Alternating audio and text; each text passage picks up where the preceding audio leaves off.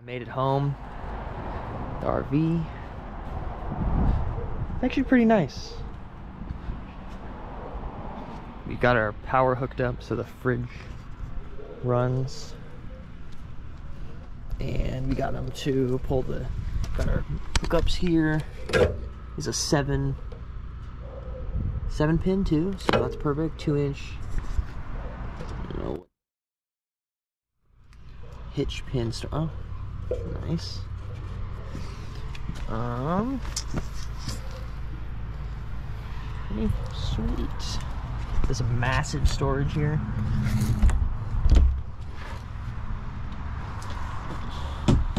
Huge. All right, we're gonna do a quick walkthrough of the uh, Cruise America RV rental and just go over a couple things that we didn't know about um, before we did it and then would have been nice to know. That makes it a little easier. So we got the, not the largest RV, but the one down from that, the 25 footer.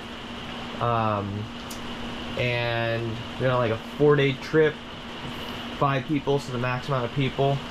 Um, this is post trip, so we're just gonna go over some things that we learned. But you got this control panel here. Uh, if you hit test levels, it'll tell you what all your levels are, um, your generator hour, your start your generator, and then your water heater. Um, I believe this RV is a 40 gallon freshwater, 25 gallon gray, and 25 gallon black, or somewhere in there, and then like a 12 gallon propane. Uh, we used all of our black water tank over those five days. We never used any bathroom but the RV bathroom. Um, we used all of our fresh water, but we had no hookups anywhere. Our gray water, we were able to drain where we were at. Um, and then our battery, that's your 12 volt. It has a 12 volt power and then the generator power. The generator charges a 12 volt. You need generator for microwave, air conditioning, or any of the plug-ins. 12 volt will run your furnace, your fridge. It runs off propane, but it needs 12 volt too. Your lights and all that kind of stuff. Your water pump. Whenever you want to use water, you just flip the switch and turn on the water pump. It'll build pressure. Um, to start the generator, you hold the prime button down uh, for three or four seconds. You'll see this light turn on, and then you uh, hit the start. You'll feel it turn on. The fridge auto switches from propane to electric. You can plug in to a plug-in if you have a campsite. If not, you're just doing generator. It'll run off propane, so you don't have to worry about that. And then you've got your thermostat here, uh, which controls your heat. We have literally a flash flood thunderstorm going on outside at the moment, but There was lightning. I, I heard that. Uh, they say on this placard here that you only get two hours of heat without being plugged into 110. Um, because you need the 12 volt power to run the fan, which runs the furnace runs off propane. Ours ran all night, both nights. I don't know if we just didn't need that much heat, so it didn't have to come on that much, or what. But it ran all night. It was still running in the morning. We were nice and toasty. Um, on the note of propane, I was extremely concerned we were going to run out of propane because you know you got your cooker, your fridge, your heat, all propane. Um, we barely used half over our four days, and I mean we had this thing heated all, the whole time. Uh, we cooked every meal on this this little stove here, so propane is not really an issue. Even now, it says we have two thirds. I mean we used propane for everything. The fridge was running the whole time. Um, we first got there, it was a little warm. We did run the air conditioning. We just started the generator. It was pretty amazing. It worked really good. Um, we put four hours on the generator, and honestly, I thought the generator was running longer than that. Like we ran it quite a little bit. Um, it charges. It'll charge up your 12 volt battery, so that's kind of why we ran it. And then everyone would plug in their phones. Um, we were towing a trailer, a U-Haul 6x12 cargo trailer. And we got about, we were going over mountain passes, we got about 8 miles to the gallon. I'm assuming that if you weren't towing the trailer, you'd be looking more at 10, maybe 11, 12, somewhere in there.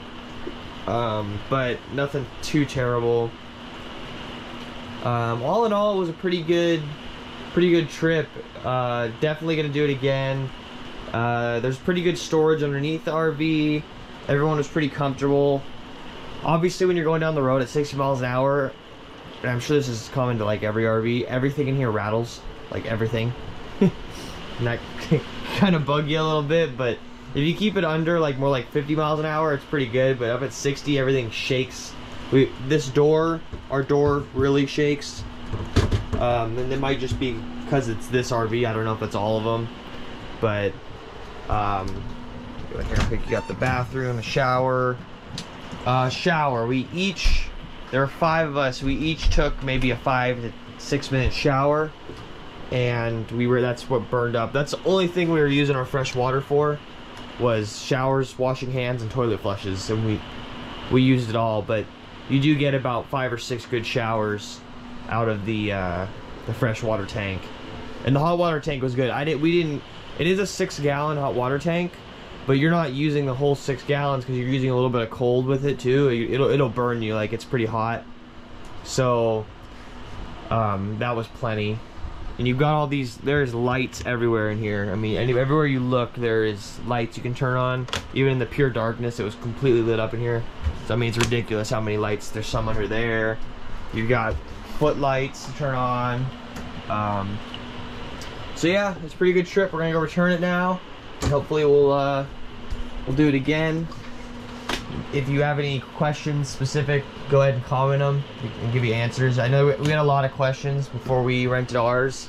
Uh, their website does a pretty good job, but there's just a lot of stuff like how long is this gonna last? How long does the, you know, different tanks last? And um, now that we know the answers to those questions, I think it'll be a lot easier to know what which RV we want that kind of thing. But thanks for watching.